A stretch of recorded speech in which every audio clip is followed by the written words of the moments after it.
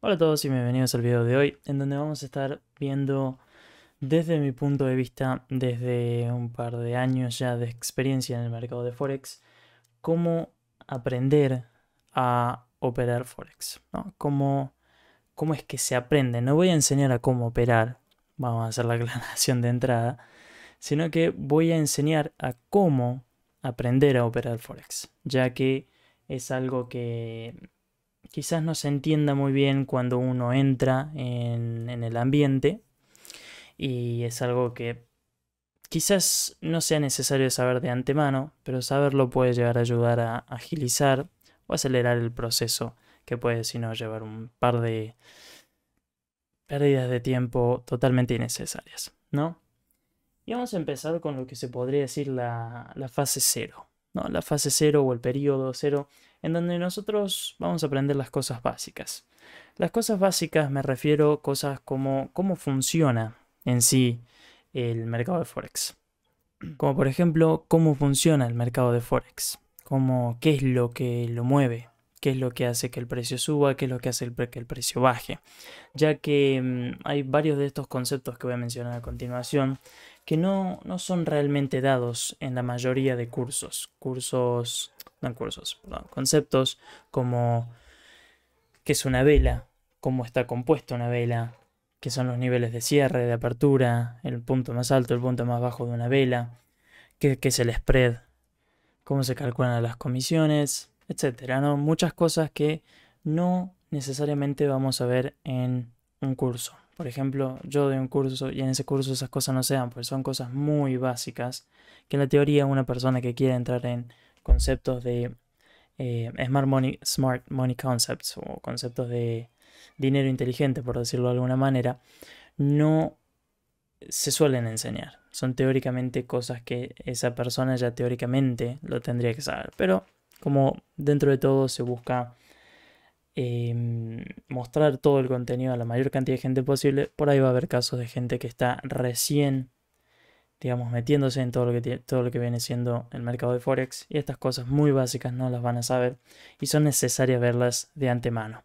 Estas son cosas muy sencillas de eh, googlear, como por ejemplo hay páginas como babypips.com que tiene em, conceptos muy básicos, como serían los que mencioné anteriormente y otros, ¿no?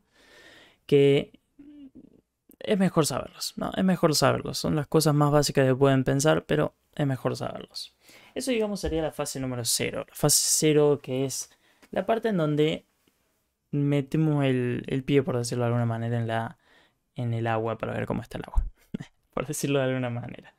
Ya lo que sería la fase número 1 sería encontrar a un mentor o una academia. Ahí lo que vamos a em, estar haciendo es de alguna manera u otra encontrar, encontrar una academia o un mentor que a nosotros nos parezca adecuado o adecuada para lo que estamos buscando hacer con el mercado de Forex. ¿no?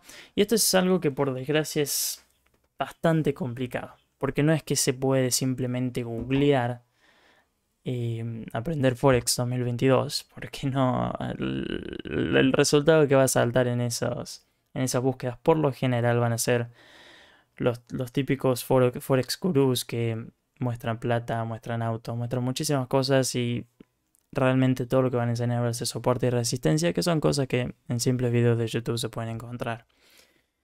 Es, algo bastante complicado, ya es algo bastante complicado encontrar eh, grupos y o mentores que enseñen los conceptos de una manera clara y que obviamente funcionen de manera consistente.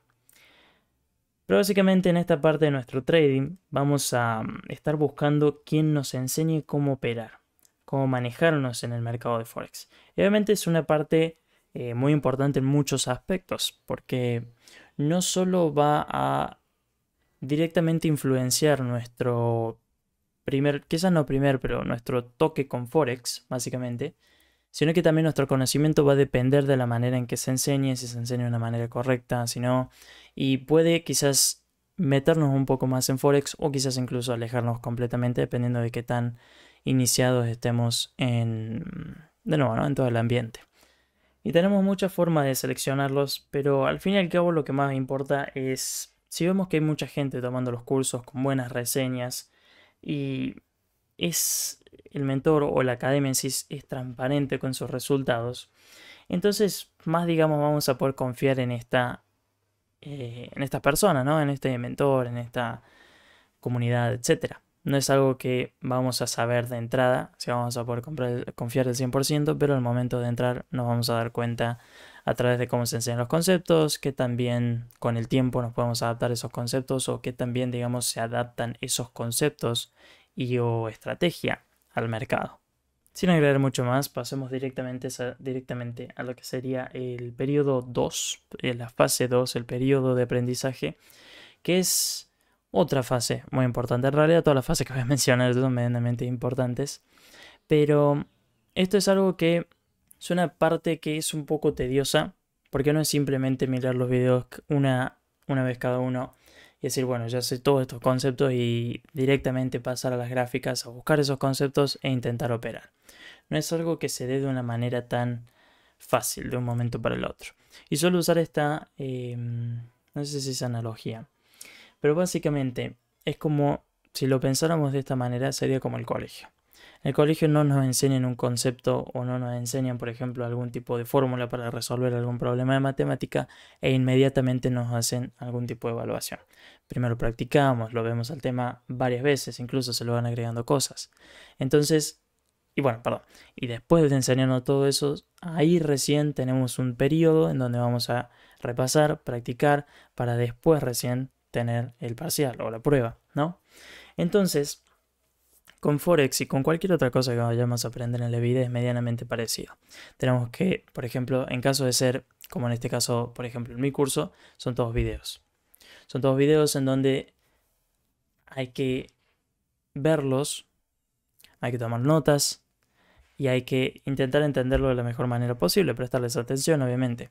Y yo diría que, por ejemplo, se puede ver el video una vez, tomando notas, pausando, y después ver otra vez el video sin pausar, pero viendo si nos hemos perdido algún que otro concepto o alguna que otra cosa dentro de ese video que pueda ser importante a futuro. Es cuestión de el contenido que se nos dé en un curso, en una mentoría, en lo que fuese. Es cuestión de verlo, intentar entenderlo y repasarlo. Repasarlo porque no es algo que se aprende en el momento, no es que un solo video puede enseñar completamente un concepto, es cuestión de práctica, es cuestión de tiempo y es cuestión de esfuerzo obviamente también. Obviamente es una fase muy importante ya que en la teoría estamos aprendiendo conceptos y una estrategia en sí que es aplicada por, otros, por otras personas que logran conseguir ganancias de eh, teóricamente manera consistente. ¿no? Y acá vamos a necesitar paciencia. Ver una, clase, tomar notas y después reverla para encontrar algunas cosas que quizás no hemos saltado. Ver clase tras clase, obviamente, ¿no? Ver tenemos que ver las clases, tenemos que tomar notas e incluso, por ejemplo, yo lo que recomiendo por lo general es ver una clase, intentar entender, tomar notas e inmediatamente ir a las gráficas para intentar encontrar ese concepto específicamente. No intentar buscar entradas ni nada por el estilo, sino buscar ese concepto específicamente para ver cómo en el mercado se va dando eso mismo que se enseñó en ese video o en lo que fuese, ¿no? Pero volviendo al principio, vamos a, necesitar paciencia, vamos a tener que entender que no es algo que vamos a aprender de un momento para el otro. El Forex, Forex es un mercado bastante manipulado, como es bastante conocido. Es muy manipulado y es difícil de entender por partes, pero es conceptos que lo explican de una manera bastante sencilla que pueden permitir de una manera consistente conseguir resultados positivos, ¿no? Pero es cuestión de darle tiempo. No es algo que empezamos un curso y en la primera semana vemos el contenido y en la segunda ya vamos a estar tomando trades para ganar plata. No, eso no es algo lógico de pensar que puede llegar a pasar y no es algo realista en sí, esperar que pueda pasar algo por el estilo. Sé que si tienen esos pensamientos al momento de entrar en una academia o en al Forex en sí, se van a llevar una desilusión bastante grande porque no, no es algo que pase de un momento para el otro, es algo que tiene su tiempo y al fin y al cabo, volviendo, ¿no? Va a depender también de su esfuerzo, del tiempo que le pongan, de la paciencia que le pongan y el esfuerzo, que creo que ya lo dije.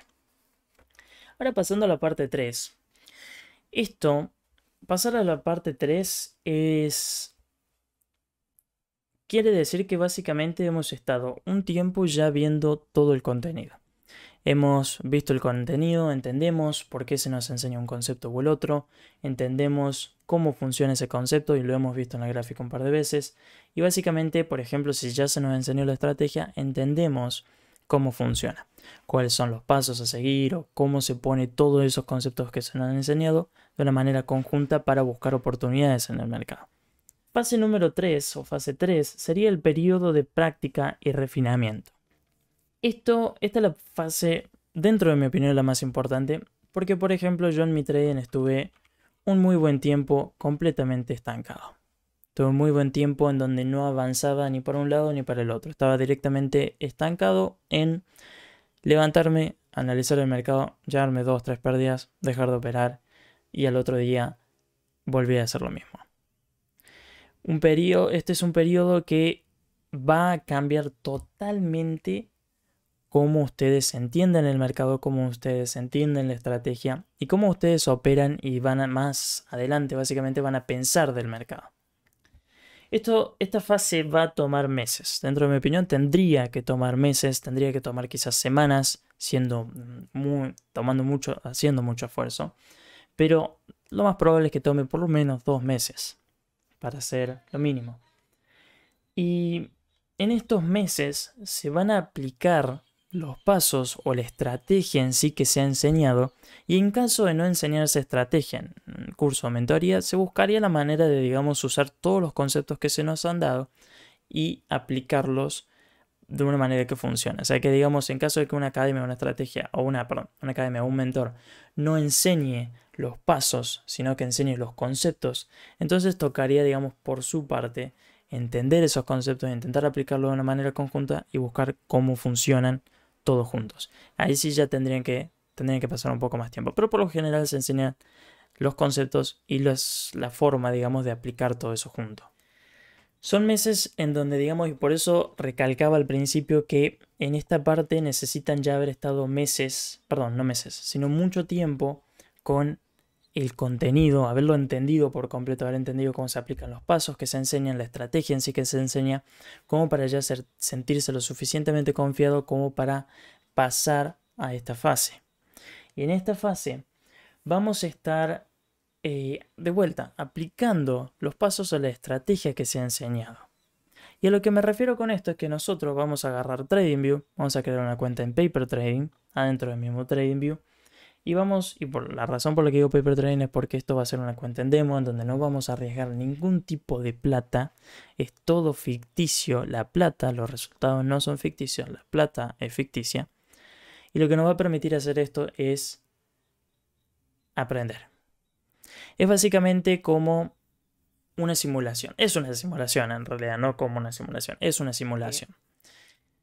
Van a empezar a operar esta estrategia, sea de la manera en que sea, ¿no? Porque cada estrategia es diferente, hay estrategias completamente diferentes la una a la otra, hay algunas que se operan durante sesiones, hay otras que no hace falta las sesiones, no importa, digamos, el tiempo en el que ocurran, no, pero cuestión es que hay miles de estrategias, miles de estrategias que funcionan y eh, cada una por lo general va a funcionar de una manera distinta.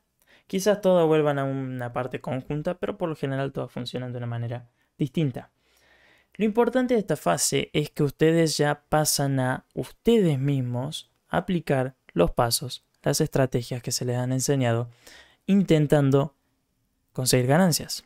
En demo, pero intentando conseguir ganancias. Y lo que se van a cruzar acá, primero que nada, lo primero que van a hacer va a ser tomar dos, no docenas, decenas de pérdidas. Decenas de pérdidas.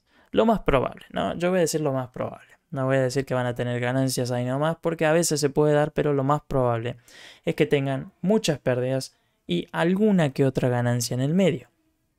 Y lo bueno, lo bueno de esto es que se van a dar cuenta que hay cosas que se repiten. Va a haber cosas que se repiten. Acá obviamente nosotros, por ejemplo, estando en un momento en el que vamos a tener muchas pérdidas, ya que recién estamos empezando a intentar aplicar esta estrategia, estos pasos que se nos han enseñado, vamos a tener muchas pérdidas y pocas ganancias, por, por lo cual no vamos a tener mucha referencia a por qué las ganancias que hemos tenido han funcionado, ¿no? Los trades o setups que hemos agarrado han funcionado. Entonces también no solo vamos a comparar nuestros trades, sino vamos a comparar trades de otras personas, trades de otras personas de que dentro de la comunidad están usando esa misma estrategia que teóricamente nosotros estamos usando. Y en todo esto vamos a estar entendiendo o aprendiendo cuándo un trade funciona y cuándo un trade no. Vamos a estar reviendo los videos y decir, bueno, por ejemplo, yo hoy tomé este trade y me parece que este es el concepto por el cual, no me parece, sino que digamos, basamos un trade por este concepto. Y volvemos a ver el video y nos damos cuenta que en realidad habíamos entendido algo de una manera incorrecta sobre cómo funcionaba ese concepto y es lo que nos llevó a tener esa pérdida, por ejemplo. O incluso podemos tener una ganancia mientras que el concepto lo estábamos aplicando de una manera errónea, se puede dar. Pero la cuestión está en que van a estar tomando pérdidas, van a estar tomando ganancias y lo que van a generar acá va a ser un historial. Y a lo que voy con historial es lo siguiente. Van a crear un historial. Y a lo que me refiero con historial es medianamente lo que tenemos acá. Tenemos, por ejemplo, los Em, los dibujos, los cuadros o los rectángulos, lo que fuese, azules serían las ganancias, ¿no? Lo positivo. Y lo rojo sería lo negativo, las pérdidas que hemos tenido en, vamos a suponer que esto fue en una semana, ¿no? De alguna manera. La cuestión está en que lo que me refiero con historial o en sí información que vamos a ir juntando es básicamente algo que nos va a servir para saber qué errores estamos cometiendo o qué patrones se repiten de una manera consistente. Y esto es muy importante. ¿Por qué es muy importante? Y por eso sigo recalcando en que esta es la fase más importante de las 4 o 5 que vamos a ver acá. Nosotros vamos a ver, por ejemplo, acá menciono tres pasos, tres pasos, tres pasos, bueno, dos pasos en realidad, porque, eh, por ejemplo, sería lo que sería mi estrategia. ¿no? Mi estrategia son tres pasos, no los voy a mencionar, pero básicamente vamos a dejarlo en tres pasos. La cuestión está en que ustedes, cuando empiecen a operar, cuando empiecen a tomar trades, empiecen a tener ganancias, empiecen a tomar pérdidas, etc., se van a dar cuenta que va a haber eh, estructuras, patrones que se repiten ambos en las ganancias y en las pérdidas. Y esto es algo que ustedes van a usar en su ventaja. Y a lo que me refiero con eso es que, por ejemplo, acá tenemos 5 trades 5 trades, en donde dos de ellos no tenían liquidez. Algo que me gustaría agregar acá que me faltó explicar es que básicamente nosotros todos estos conceptos que estamos viendo en contra, que son conceptos digamos que se han repetido en las pérdidas que hemos tenido, son cosas que simplemente entendemos como conceptos que se nos fue enseñando en la fase 1 y fase 2 que básicamente nosotros entendemos tienen sus contras o pueden ser usados en contra nuestra, por lo cual entendemos que, por ejemplo, tuvimos cinco pérdidas que se dieron exactamente con ese concepto en nuestra contra. Por lo cual ahora podemos intentar evitar ese concepto específicamente cuando vamos a tomar un trade y decir, bueno, tenemos esto en contra, por lo cual me conviene no tomar esta oportunidad. Dos de ellos no generaron liquidez antes de, antes de digamos, ejecutar ese trade. Lo que entienden desde este punto es que si ustedes hubieran esperado a que, a que se generase liquidez, a que apareciera liquidez antes de ejecutar ese trade, hubieran entendido que se hubieran evitado estas dos pérdidas. ¿Qué es lo que tenemos después? Acá tenemos contratendencia y contratendencia. Quiere decir que tuvimos pérdida 1 y pérdida 2, que de haber operado solo a favor de la tendencia, nos hubiéramos evitado. Después tenemos que el precio se da en subestructura, que se podría haber evitado, y estructura no clara. Vamos a suponer que acá tenemos exactamente lo mismo. Acá tenemos CT con liquidez. Y acá tenemos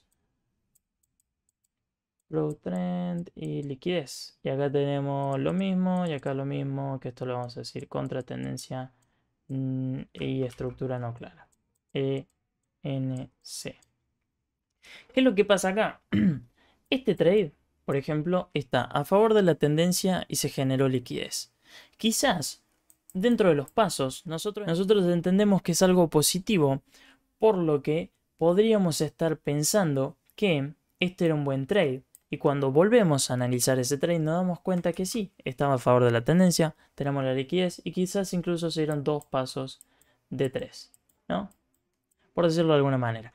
Entonces, acá podríamos decir que este trade, esta pérdida que tuvimos, era una pérdida válida. Quizás eso mismo se repite en este y este. ¿Qué es lo que pasa? Acá volvemos a que acá tenemos contratendencia, un trade que se puede evitar. Acá tenemos contratendencia y estructura no clara. Acá tenemos estructura no clara, otro trade que se puede evitar. Estructura no clara, otro trade que se puede evitar. Estamos diciendo que, no es lo que quería hacer, que básicamente tenemos ciertas cosas que se dan antes de que un trade falle. O, sí, vamos a decir antes, que, antes de que un trade falle. ¿Y qué es lo que vamos a lograr con esto? Vamos a entender que, por ejemplo, eh, contra tendencia, en una semana tuvimos tres pérdidas. Estructura no clara, tuvimos dos pérdidas. Y subestructura tuvimos solo una. Quiere decir que evitando hacer estas tres cosas, nosotros nos habríamos evitado 5 de estas 10 pérdidas que tuvimos en una semana. Perdón, 12 pérdidas que tuvimos en una semana. Y quizás había otra cosa, por ejemplo, eh, no había liquidez, vamos a decir que fueron 3 trades más. Quiere decir que esto sería 8 de 12, por lo que tendríamos solo 4 pérdidas que quizás eran buenos trades. ¿Por qué digo que quizás eran buenos trades? Porque al fin y al cabo, por ahí vamos a tener todas las, em, todas las confluencias del mundo, o muchas confluencias muy buenas de una manera muy clara, y aún en sí el, el trade va a ir en contra. ¿Por qué? Eso no lo podemos saber. Quizás había algo mejor un poco más arriba. Quizás el precio quería tomar este alto como liquidez para después, este alto o este bajo como liquidez, para después ir en la tendencia contraria, digamos, la elección contraria. Cuestión es que vamos a tener buenos trades que van a fallar. Y no hay nada que podamos hacer al respecto. ¿no? Hay trades que van a fallar más allá de que hayamos hecho todo bien. Ahora la cuestión está en que acá estamos, eh, estamos evitando pérdidas. ¿Qué es lo que pasa? Acá hay una zona gris, digamos, en el medio, que en realidad el medio sería acá, pero se entiende lo que voy, en donde hay ciertas oportunidades que se dieron en la semana que no tomamos. ¿Por qué? Porque quizás no estamos lo suficientemente acostumbrados con la estrategia o todavía no tenemos, no estamos, no estamos tan acostumbrados a encontrar estas oportunidades de una manera muy, de una manera rápida o de una manera clara, ¿no? Es básicamente como que no lo vemos de una manera lo suficientemente clara todavía, entonces no vemos la oportunidad y nos la salteamos. Y la cuestión está en que, en que esa área gris, nosotros podemos entender a partir de estos trades que sí tomamos u otros trades que la otra zona gris sería todos los trades que podemos encontrar en la comunidad en la que estemos metidos, de otras personas, de mentores o trades enseñados en videos, son todos, son todas oportunidades de aprender. ¿no? Tal como las pérdidas. Acá, por ejemplo, estamos diciendo que evitamos 8 de 12 pérdidas. Esto alteraría por completo el resultado. Por completo el resultado. Pero bueno, vamos a ir con esto. La cuestión está en que, como vimos anteriormente, estos, eh, estas, estos trades van a tener ciertos pasos o patrones que se han repetido en cada una de esas ocasiones. Por ejemplo, podemos decir que este estaba a favor de la tendencia, este también y este también. Este tenía liquidez, este tenía liquidez y se dieron dos pasos. Dos pasos y este solo era tendencia y tres pasos. Y este vamos a suponer que era contra la tendencia, pero eran junto con los tres pasos. Lo que vamos a ver acá, primero que nada, es que a favor de la tendencia ya nos dio tres trades. Con liquidez ya nos dio dos trades. Y los tres pasos nos dio dos oportunidades. Dos oportunidades acá. Dos pasos, que en realidad dos pasos es imposible en la estrategia, se usan los tres juntos o ninguno. Pero bueno, se entiende lo que voy, ¿no? La cuestión está en que estas cosas que se repiten, nosotros nos vamos a acostumbrar y vamos a decir, esta zona es interesante, yo podría estar buscando confluencias que se den a favor de esta dirección para yo intentar tomar la oportunidad, aprovechar esa oportunidad. Y basado en nuestra experiencia, basado en todo esto que estamos haciendo acá mismo, vamos a entender que si, por ejemplo, el trade está en favor de la tendencia, el trade tiene liquidez y se dan los tres pasos, o sea, dos pasos, nosotros entendemos que tenemos una buena probabilidad basado en experiencia, basado en historial, por decirlo de alguna manera. Entonces, ahí es cuando nosotros entendiendo las cosas que se repiten, los patrones que se repiten, es cuando nosotros se nos va a hacer más sencillo identificar buenas oportunidades y evadir malas oportunidades. Identificarlas también, pero evadirlas, evitarlas y buscar las buenas oportunidades. Las confluencias a nuestro favor y no las confluencias en contra. Esto es el poder de esta fase. Nosotros aplicamos la estrategia y vamos a tomar pérdida. La cuestión está en entender el por qué nosotros tomamos esa pérdida. El por qué nosotros tomamos esa ganancia. Y de nuevo, hay cosas que quizás la estrategia o los conceptos no los enseña o quizás no los entendimos tanto en un momento. Y al hacer esto, al darnos cuenta que, en un, que por ejemplo, en 4, de 6 trades que tomamos que terminaron en ganancia, se repitió un concepto específico, vamos a entender que ese concepto es bastante bueno. Si vemos que se juntan junto con otros, entendemos que esos conceptos en conjunto pueden generar muy buenas oportunidades o oportunidades de alto valor, ¿no? de alta probabilidad. Acá es cuando la estrategia, nosotros aprendemos a cómo usar la estrategia. Porque pasamos de simplemente aplicar todos los conceptos juntos a aplicar los conceptos que entendemos que funcionan en conjunto. Y empezamos a evitar los conceptos que entendemos van en nuestra contra. Porque nosotros, por ejemplo, si yo enseño cómo funciona la tendencia a favor o la tendencia en contra, la tendencia en sí, ustedes van a, van a llegar a un punto en el que entienden que la contratendencia es mala. Entonces cuando estén en contra de la tendencia y tengan una oportunidad para tomar, van a pensarlo dos veces antes de tomar esa oportunidad, más allá de que tenga buenas confluencias. Lo mismo va con no liquidez. Con no liquidez van a decir, bueno, yo en mi historial, por ejemplo, la semana pasada me llevé tres pérdidas solo porque no había liquidez. Tengo ciertas confluencias en contra, pero no hay liquidez y estoy en contra de la tendencia. ¿Por qué voy a tomar esta oportunidad? Y así es cuando empiezan a básicamente evitar ciertas ocasiones, ciertas pérdidas totalmente innecesarias basado en lo que entienden. Porque obviamente, por ejemplo, en una academia, en un curso, en una comunidad, se van a enseñar conceptos que tienen su lado contrario. Porque, por ejemplo, si yo enseño order flow o estructura, que estructura está eh, público, ustedes entienden que si el precio está subiendo, bajando, subiendo, bajando, subiendo, bajando, a este punto yo espero que baje para después continuar subiendo. Entonces, en este punto yo no voy a intentar comprar, aunque se me den, se me dé esto, esto y esto y esto. Quizás sí, porque quizás digamos las, eh, las confluencias se dan de una manera bastante clara. Intento intento vender ya que entiendo que puede haber un retroceso bajista, pero lo más probable que haga es que espere simplemente que el precio básicamente haga ese retroceso y cuando esté por estas zonas más abajo, simplemente buscar confluencias para intentar comprar. ¿no? no es que en este punto porque veo un retroceso y llego a una zona y tengo ciertas confluencias voy a intentar vender porque yo entiendo que basado en este concepto puedo comprar. Tendría que estar comprando desde este punto.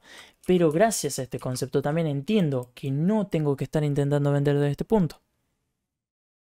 Espero que me hagan entender, porque básicamente diciendo que acá por contratendencia tomamos tres pérdidas es entender que este trade puede haber sido una de esas pérdidas. Simplemente. No, simplemente. Entonces, los conceptos que se enseñan tienen el lado de uso y el lado, digamos, en donde nosotros entendemos que Gracias a ese concepto, acá podemos evitarnos tomar una oportunidad, tomar una posible pérdida. Eh, ¿Qué era eso? ¿Qué era esto? Perdón. No tengo ni idea de qué es esto.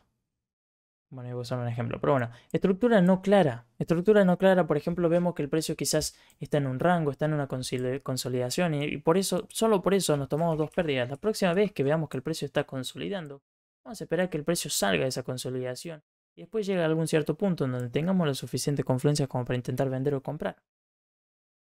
Gracias a este historial, gracias a lo que aprendimos en esta fase específicamente en el futuro, nosotros vamos a evitar operar en esta ocasión y intentar operar en una ocasión más adelante en donde tengamos confluencias mejores con estructura más clara.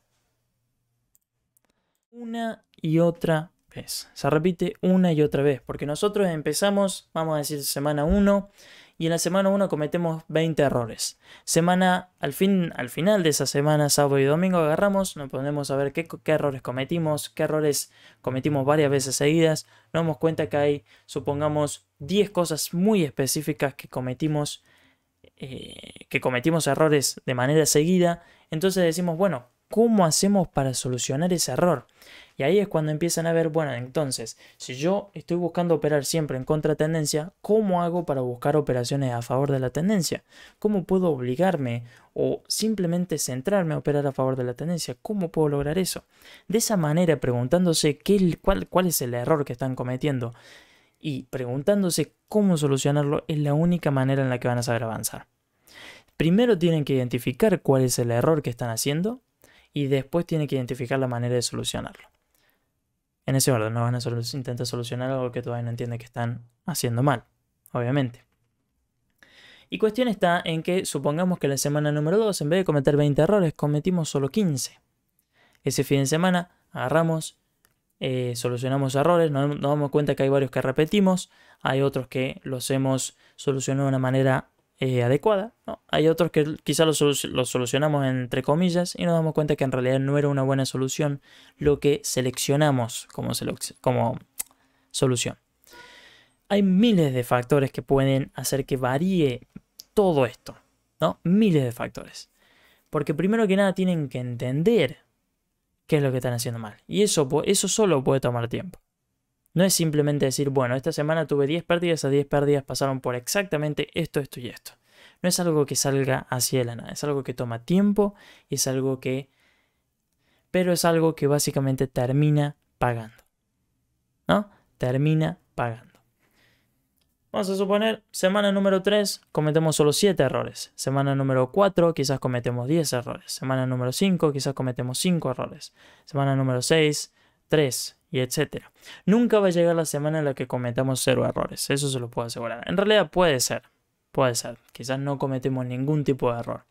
Obviamente no digo que por no cometer error no nos vamos a llegar pérdidas, obviamente, pero me refiero a que por lo general algún que otro error vamos a tener durante una semana, pues somos humanos y los errores no se pueden evitar, no, no hay mucho más que decir a, a favor o en contra de eso.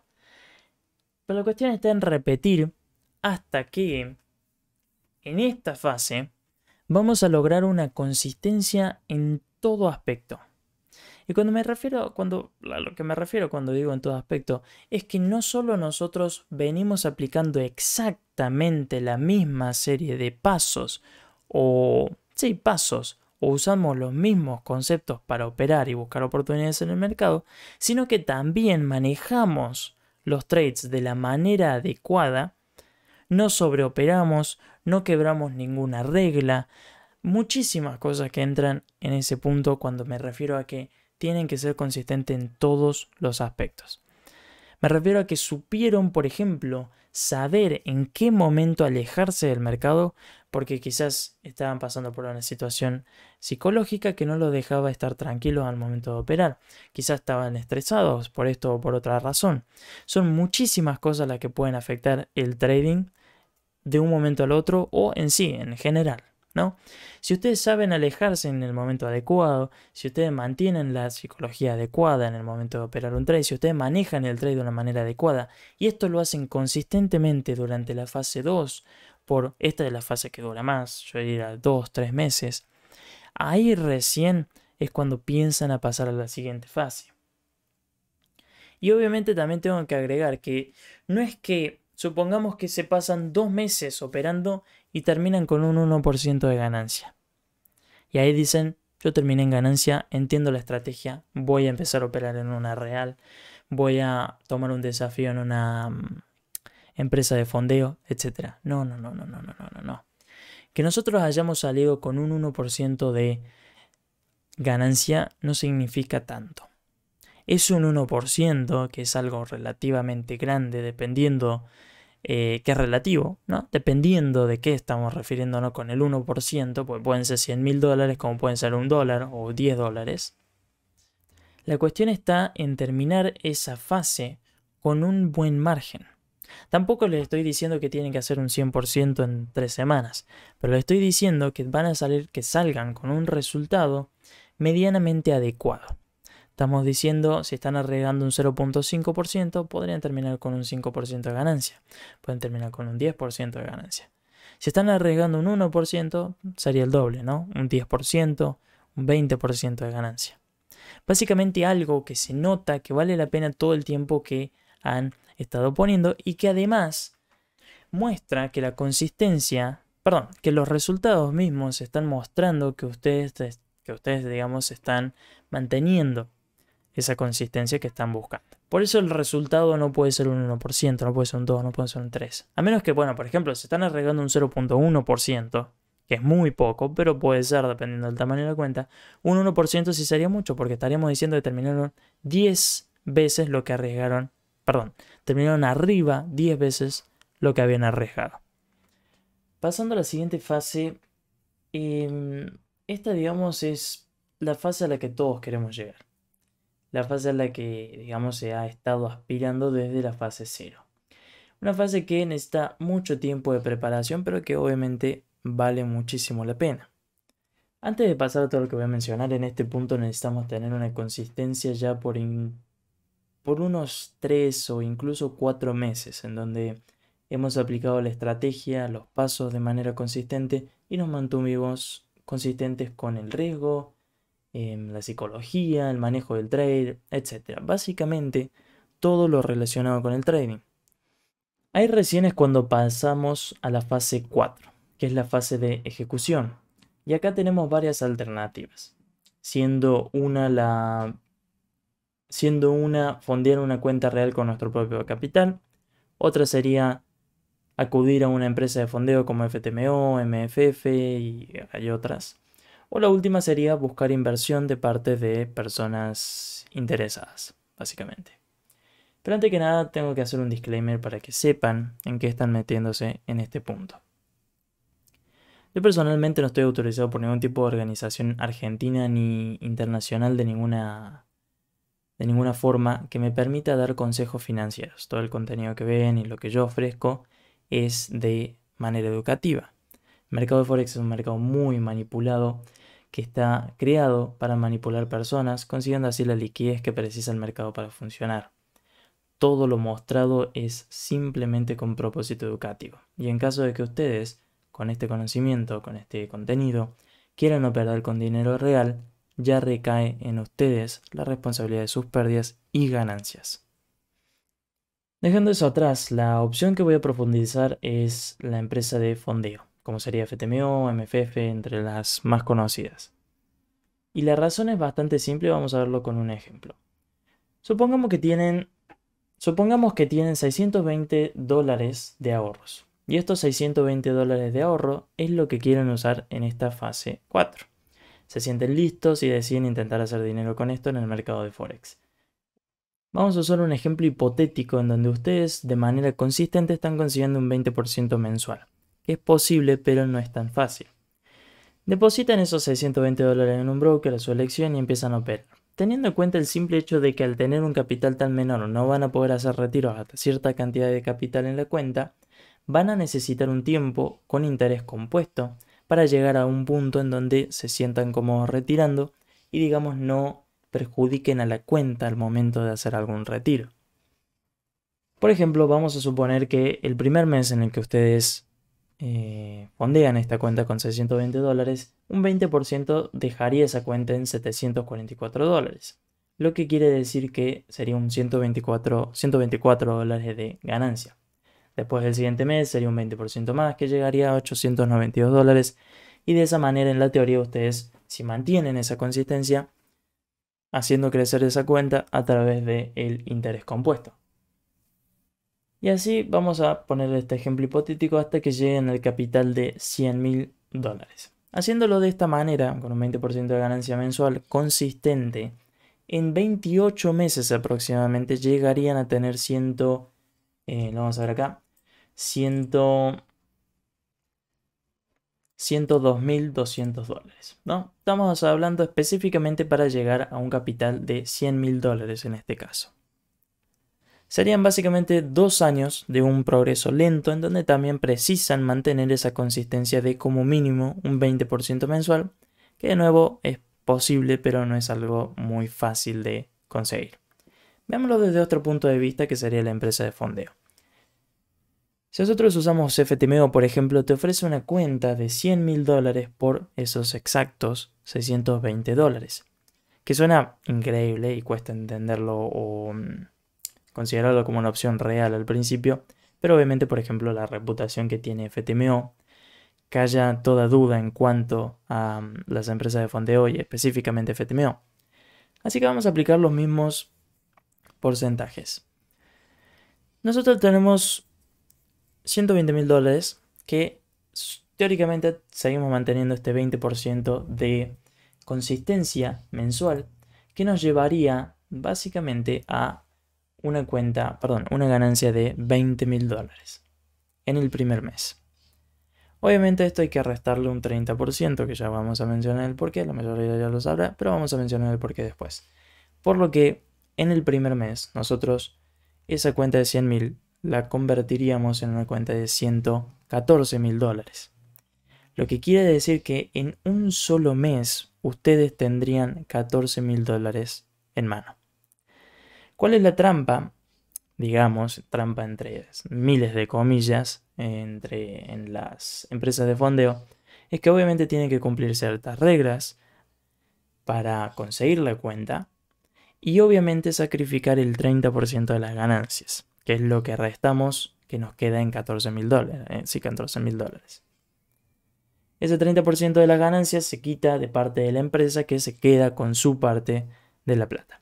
Lo que quiere decir que nosotros estaríamos quedándonos con un 70% de las ganancias que estemos consiguiendo, ¿no? O haciendo, como lo quieran pensar. Y eso es realmente todas las contras, digamos, que tiene una empresa de fondeo.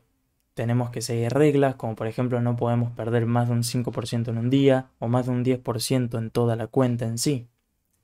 Cosa que la verdad yo no lo veo como algo malo, yo lo veo como algo totalmente razonable no solo para ellos proteger su propio capital, sino para ustedes proteger su propio capital. Pensar que pueden siquiera perder un 5% de su cuenta en un solo día es una locura. Es absolutamente absurdo pensar o creer que está esa posibilidad. Por lo que pensar que esto puede llegar a ser una contra al momento de decir si queremos entrar en una empresa de fondeo o no, yo lo veo como algo bastante ilógico. No poder cumplir estas reglas lo veo como algo bastante ilógico. Pero ahora volviendo a los 28 meses en los que la cuenta de 620 dólares habría llevado, llegado perdón, a los 102 mil dólares, nosotros en, esa, en esos mismos meses, en esos mismos 28 meses con la cuenta de 100 mil dólares, podríamos haber llegado a una cantidad de 16 millones de dólares. Obviamente, esto significaría que ustedes habrían mantenido toda la consistencia por 28 meses seguidos. No pasó un solo mes en el que ustedes no hayan hecho ni más ni menos que un 20%. Que obviamente es posible, pero no tan fácil. Obviamente menos fácil que lograr un 20% en un mes. Obviamente también hay que tener en cuenta que ahí se tiene que restar el 30%. Pero al fin y al cabo, hagamos una, una comparación bastante exagerada, vamos a suponer que nosotros solo nos quedáramos con un, tercio de esos 16 millones que se mencionan, son más de 5 millones. Que básicamente sigue siendo muchísimo más, lo que, muchísimo más de lo que lograríamos con una cuenta de 620 por 28 meses. Obviamente esa misma cuenta después se hace el interés compuesto y en algún punto se llega a ese punto, ¿no? Pero la cuestión está en que en ambos casos, estamos arriesgando exactamente la misma cantidad.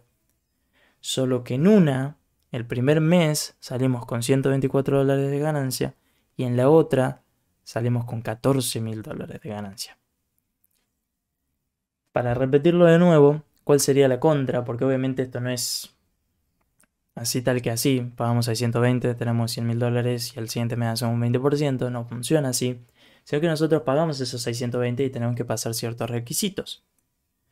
Tenemos que lograr pasar la verificación y el desafío que nos pone la empresa para ver si realmente sabemos operar el mercado de Forex. Pero si a este punto ustedes piensan que ya están preparados a partir de todos los meses que ya han tenido de supuestas, eh, supuesta consistencia, no tendríamos por qué tener ningún tipo de problema al momento de, al momento de entrar en un desafío de una empresa de fondeo, ¿no?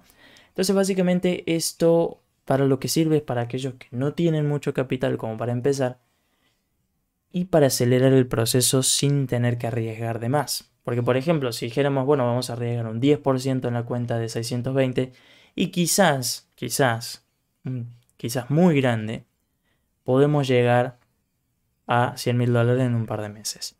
Pero es absolutamente absurdo arriesgar un 10%. Un 1% ya se me hace grande, un, un 0.5% lo mejor dentro de mi opinión que existe. Y bueno, un 0.25 lo, más, lo mínimo, digamos. Pero volviendo a lo principal es que acá estamos arriesgando la misma cantidad y en un lado nos llevamos muchísima más plata en poco tiempo, en el otro lado es depende mucho más del interés compuesto, mucho más tiempo, mucho más esfuerzo, que básicamente es más tedioso. Tenemos la oportunidad de aprovechar estas empresas de fondeo que en las que salen ganando ambos la empresa como el trader, obviamente.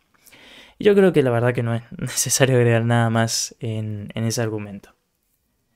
Pero todo, esto que acabo de hablar es solo parte 1 de toda esa fase. Obviamente no, no es todo rosas, música feliz y, viajes al Caribe después de la fase 4.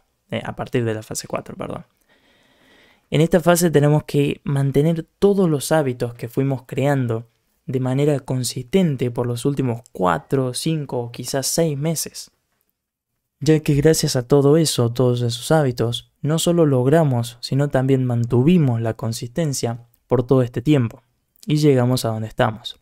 El proceso de refinamiento es algo que se tendría que aplicar de manera constante, de manera diaria, de manera semanal, de manera mensual.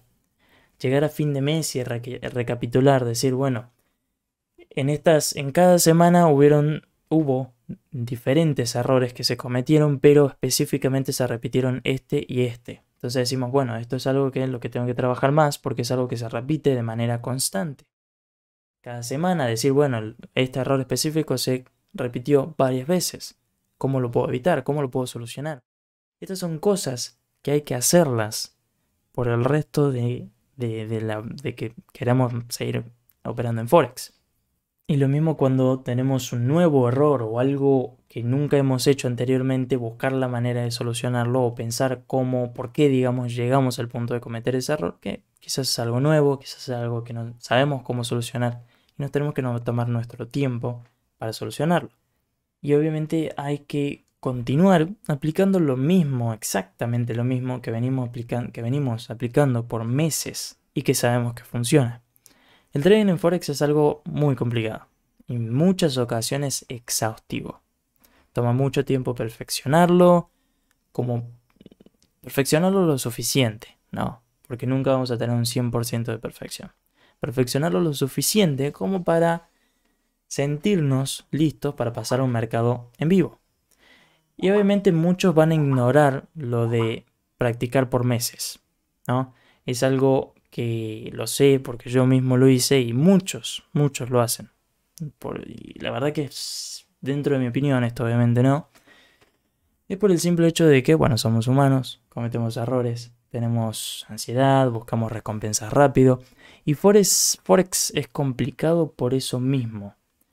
No es una forma, digamos, de conseguir dinero de un día para el otro, es algo que va a tomar tiempo de aprender, tiempo para perfeccionar lo más posible y tiempo para recién empezar a ser recompensado. Porque de nuevo, ¿no? Vamos a volver al ejemplo de FTMO contra capital propio. Más allá de que empecemos con FTMO, sea que empecemos con una cuenta de 10.000, sea que empecemos con una cuenta de 200.000, sea que empecemos con una cuenta de 50, no, yo por ejemplo, recién acabo de pasar la verificación, ¿no? No recién, recién, pero recién. Y yo no planeo que la primera ganancia eh, que retire de esta cuenta fondeada la gaste enteramente para cosas que realmente quiera. Por ejemplo, yo podría pensar, bueno, me quiero comprar esto, esto y esto, y quiero gastar esa plata. Pero en realidad yo lo que voy a hacer, por ejemplo, es guardarla, saber que puede, puedo cometer algún que otro error, puedo llegar a perder la cuenta, o simplemente guardarla, o simplemente ahorrarla en sí. Por ejemplo, Supongamos que yo hago un 10% este mes. En una cuenta de 10.000 serían 1.000 dólares, de los cuales me quedaría 75% y son 750 dólares. Yo con 750 dólares podría comprar esa cuenta de 100k, 100k en FTMO. Y la cuestión está en que ahí ya me quedarían solo ciento y pico dólares, ¿no? Entonces, las empresas, no las empresas en sí, sino las cuentas fondeadas no es algo que digamos cada fondeo lo vamos a poder aprovechar, cada, perdón, cada retiro lo vamos a poder aprovechar inmediatamente. Es cosa que hay que aprender. Aprender a ser pacientes y entender que todavía no nos toca la recompensa. Primero tenemos que seguir aplicando ese interés compuesto que nos va a servir mucho en un futuro. En esa misma cuenta o en otras cuentas, ¿no? Y la pregunta que se puede pensar es si vale la pena, y yo creo que es bastante obvio. Entendiendo lo más mínimo de Forex, se puede entender las oportunidades que hay en el mercado. Entienden que pueden generar ganancias en, un solo mes, que podría cubrir gastos de todo un año. Y esto a, gente que vive en Argentina lo van a entender poco más. Gente que vive en otros países que también está con una economía no tan estable o no tan buena, vamos a decirlo de alguna manera, van a entender que no se necesitan tantos dólares en un país para vivir comparado con, por ejemplo, si viviésemos en Estados Unidos o bueno, algún eh, país de Europa, ¿no? Acá nosotros en Argentina, por ejemplo, necesitamos aproximadamente 500 dólares para vivir tranquilos, viviendo solo y contándolo al dólar blue, no lo vamos a contar al dólar oficial. Y siendo, siendo, eh, siendo ciertos, por decirlo de alguna manera, en una cuenta de 100k, una cuenta de 100.000, 500 dólares es literalmente un 0.5%. Significa que es un 0.5% por lo general es lo que yo recomendaría arriesgar. Se entiende que nosotros por trade estaríamos quizás arriesgando eso que para algunas personas es un sueldo mensual. ¿Qué quiere decir que nosotros un trade, por ejemplo, con mis reglas, yo en cada trade tendría que ganar como mínimo 5R? Quiere decir que yo estaría ganando 5 teóricos sueldos en un trade. Ese es el poder, digamos, de cuentas de fondeo o tener mucho capital, obviamente, porque hay gente que puede tener mucho capital y decide operar el capital propio. Pero ahí volvemos a lo mismo de que en un lado estamos arriesgando nuestros 100 mil dólares y en otro lado estamos arriesgando 620 dólares. Yo creo que es bastante clara la diferencia. Pero bueno, cuestión es que un 0.5% en una cuenta de 100 mil no es absolutamente nada. No, no es absolutamente nada. Las oportunidades y recompensas que ofrece Forex valen la pena. Pero la cuestión obviamente está en aguantarse todo el proceso de meses y en algunos casos años que toca llegar a un punto en el que digamos podemos de manera constante conseguir ganancias en el mercado. Y por ejemplo yo me apuré en muchas ocasiones, muchas ocasiones. Yo todo el año 2021 salté de desafío en desafío sin estar preparado. Y la verdad que todo lo, único que logré pensando, ¿no? Lo único que logré fue ilusionarme, perder el tiempo y más que nada perder plata, que es lo más importante. Y mirando atrás, obviamente hubiera preferido, ahora que entiendo las cosas que tendría que haber hecho, hubiera preferido estar más preocupado por mejorar, antes de estar preocupado por pasar un objetivo. Porque obviamente intentando buscar un objetivo, intentando estar preocupado en sí, en pasar un objetivo, es un poco ilógico. Pues si nosotros llegamos a este punto en el que estamos comprando, eh, estamos pagando una fase de desafío para una empresa de fondeo, significa que un objetivo no tendría que ser ningún tipo de problema, es simplemente entrar al mercado, hacer lo que venimos haciendo. Y cuando llegamos a cierto punto se nos recompensa para pasar a la siguiente fase. O cuando ya estamos en una cuenta fondeada, se nos, se nos recompensa con plata. Entonces, es mejor preocuparse en mejorar, en buscar las maneras para mejorar nuestro trading específicamente, ya que el objetivo se va a cumplir solo gracias a esa mejora en nuestro sistema. Es mejor pasar un año completo, dos años completos, aprendiendo y mejorando antes de estar perdiendo plata y tiempo en empresas y preocupándonos más por los objetivos por los cuales obviamente no estamos preparados para cumplir. Es, la verdad, es simple cuestión de lógica, ¿no? Simple cuestión de lógica. Pero bueno, acá llegó, cayó el fin. Es un video bastante largo, creo. La verdad que no sé cuánto tiempo grabo, así creo que es una hora casi. es un video que explica toda la experiencia que tenía yo metido en un mercado, metido en Forex medianamente desde el 2019 aproximadamente. Ya van a ser, ya van a ser tres años de este año. Pero que realmente, digamos, empecé a aprender o intentar aprender desde el 2020. Es algo que toma tiempo, toma tiempo y el objetivo, digamos, de este video es simplemente intentar ayudar a cortar partes totalmente vitales. Cortar, cortar el camino, no, no, hay, no hay que cortar el camino, es malo cortar el camino, pero yo creo que en este caso yo, dando mi experiencia, se entiende que hay caminos que se pueden cortar. Porque no es necesario que ustedes vayan y pierdan 10 desafíos como quizás perdí yo. Quizás perdí más de 10 desafíos, la verdad que no tengo ni idea de este punto.